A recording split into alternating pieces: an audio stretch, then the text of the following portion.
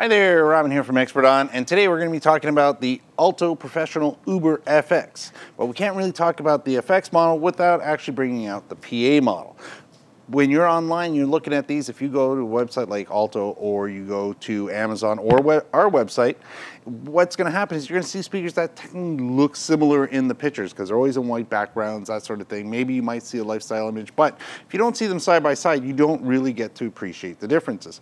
A six and a half inch speaker with a two inch tweeter on it, weighing in at just over 16 pounds, versus an eight inch with a three inch tweeter and all the effects this one weighing in at 24 and a half pounds. Now, this one's on wheels, the FX model, this one's not. Easy, less than 20 pounds to carry. Because it's over 20 pounds, they wanted to make it even more convenient by adding the pull-out handle and the wheels in the back, which we'll take a look at in a minute. Now, outside of that, they come in really nice boxes. So though I don't do unboxing, I will let you see what a box looks like. This is the box that the actual PA came in. Nice box. If you're buying it as a gift for somebody, really appreciate the package when it arrives. The FX comes in just a bigger version of the same box. That's what we're looking at, except now it says Uber FX on it, and it's big enough to accommodate. When I did the unboxing, this is what came out of the boxes. It was that simple. I mean, nothing more complicated than that. Buy a box, get one of these inside of it. Pretty simple. So from there, let's talk about some of the differences and similarities of the two products. They both have two-line input capability. They both offer the ability to switch between mic and line. They both use combo jacks on them. Of course, they both have volume and gain controls to go across the actual lines. They also both have Bluetooth. Now, I figured this out because they both have 100 feet of range on them. So that means that we're going to have version 4.0 or better in these units. Range is really good because you're going to probably keep the phone with you not with the actual unit. But if you do need to keep the phone here because you need to charge it, they have built-in chargers on both models.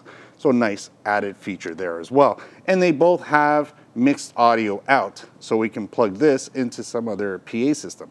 And just to be on the safe side, they both come with a 3.5 auxiliary input jack. Those are the similarities. Outside of that, again, six and a half inch, eight inch. Two inch tweeter, three inch tweeter, 50 watts of power, 800 watts of power. So big differences when it comes to that. Sound quality and distance, the sound quality is gonna be close to comparable between the two at medium volume levels.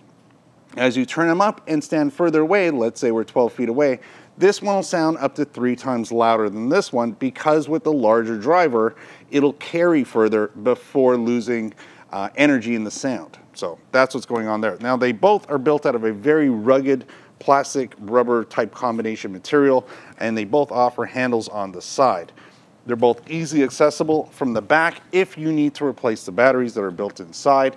They do both have an exaggerated number of hours because they literally talk about standby hours.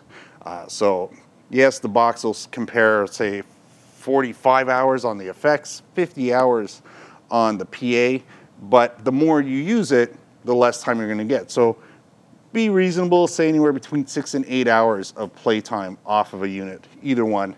And that's a lot of playtime for something that you're just gonna be on battery alone. So you'll be able to use it all day long, no problem, regardless of the one you get. Now, if we turn the FX around, now we get to see that right in the back here, we have a screw panel that can be removed and another screwed on panel back here, and that's where they keep the battery. And the batteries are available online as well, so if you want to replace them, easy done. Now, on the FX model, we do get a big added feature, and that's the effects part. That is supported through a processor built by Alesis and programmed by them. Uh, it comes with 15 different settings, including a bypass in case you just want to get around it and you don't want to have to worry about that at all.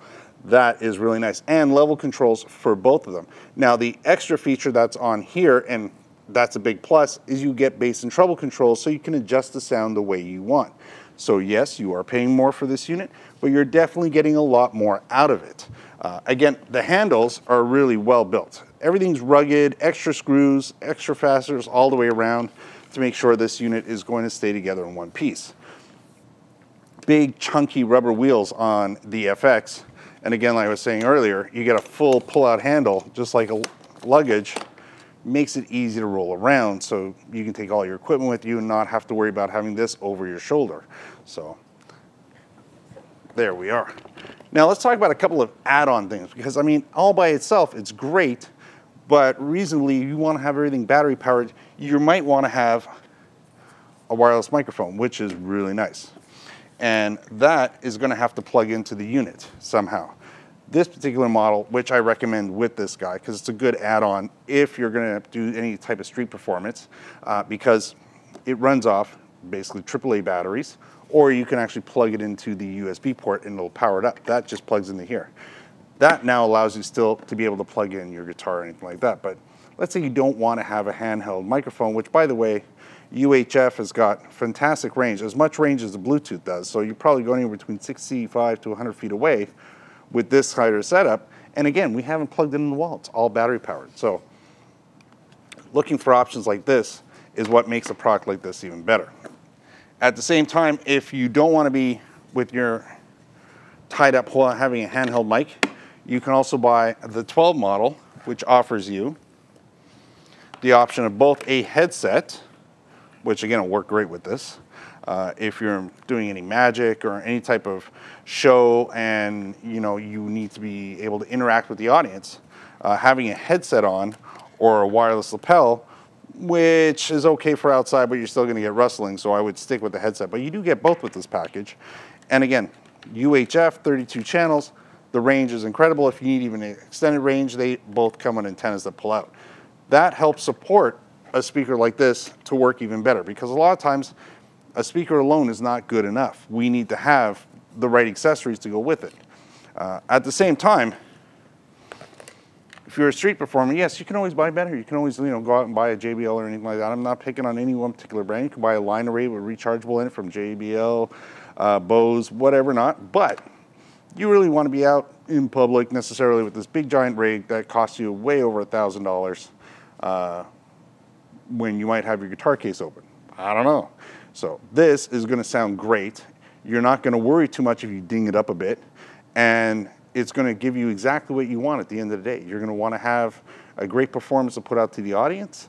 And you're going to want to have something that you can easily bring to the site and take back with you. So let's bring it to the back. Take a listen to both the effects and the PA. This way you can judge for yourself. We're going to set it up only at 12 feet because that's a reasonable distance because normally, you know, if you're using a speaker like this, people are standing around.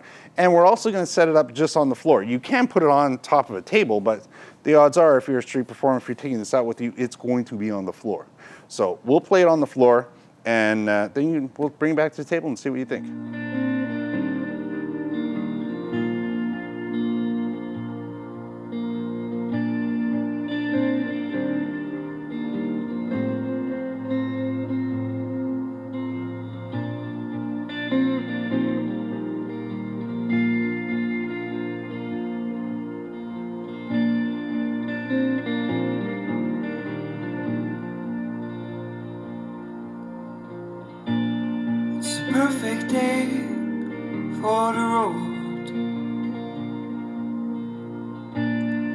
Blue sky will take us home.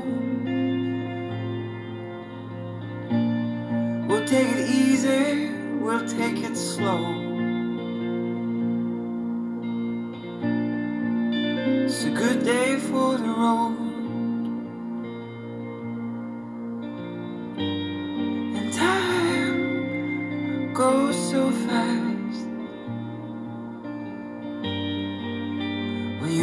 The ones you love. But I won't worry today. Even if time flies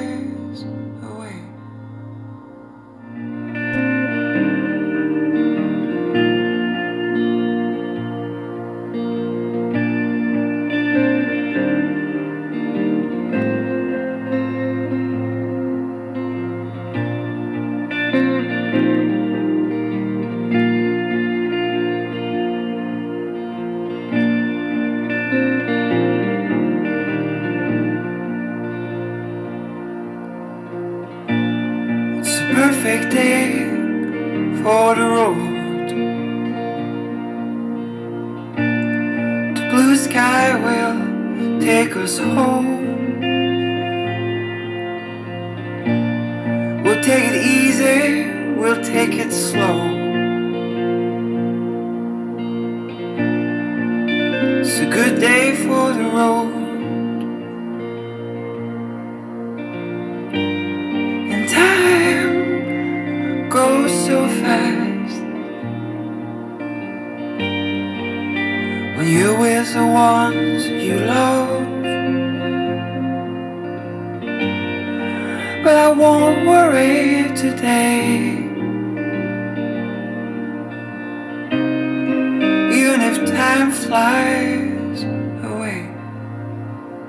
Okay, so here we are. We're going to do a little sound check. We first have the Uber PA, and the gain levels on the microphone is set at 75%. I'm using a corded mic with an XLR cable, and the microphone is a Shure PGA 58. So if you're looking for a live microphone, this is a really good way to go.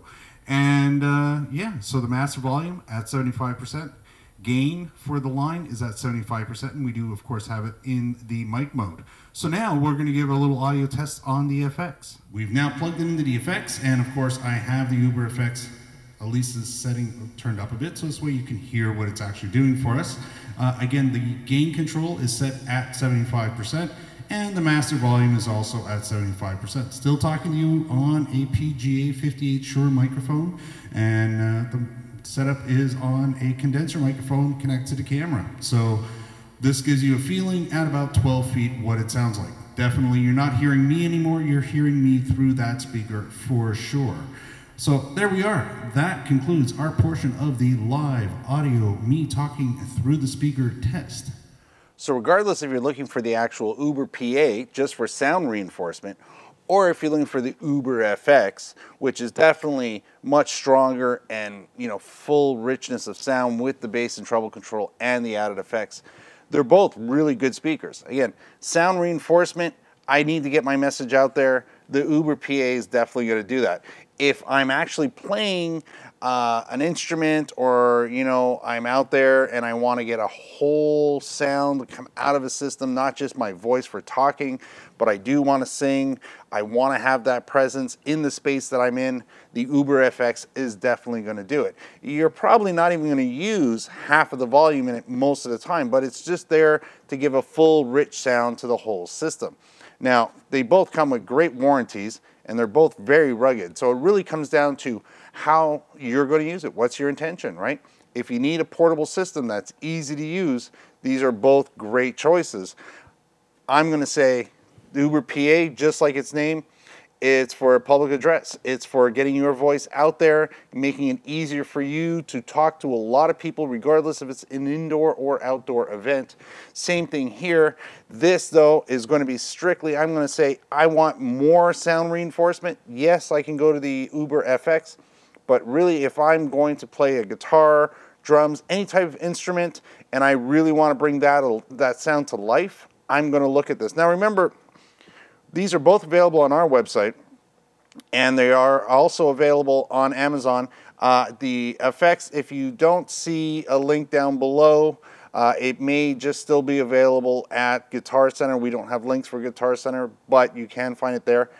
But if you're looking for our affiliate link, it's going to be for Amazon. So if they're there, we're going to have this in an affiliate package uh, along with the other accessories that we talked about because a speaker alone isn't going to do the job. You kind of need the other things. So we'll put a package together showing you all the other accessories that you may like to buy with a product like this. If you have any questions or comments, please leave them down below. Uh, we do try and get back. I do the Q&As, and uh, if I answer your question there, I'll send you a reply letting you know that I've answered your question on one of the Q&As. If not, I try. If the questions are easy, we just hit them right back as quickly as we can. So thanks for watching. We'll see you on the next video, and bye for now.